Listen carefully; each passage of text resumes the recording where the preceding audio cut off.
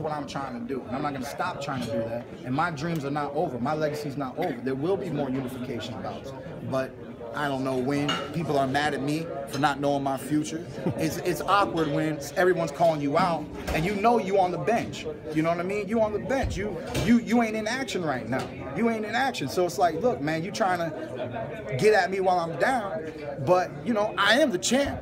So I'm gonna walk around proud. I am the champ. I am number one. There's a reason why you got my name in your mouth. There's a reason why you got my name in your mouth. You know what I mean? So, look, man, I'm that dude. They're gonna have to deal with me, man. I didn't know. Um, I created a lot of haters. Like, like he said, they, I'm holding up the welterweight division. I'm doing this. I'm doing that. Because I'm undefeated. You got defeated. Sorry. AKA not. You feel me? So,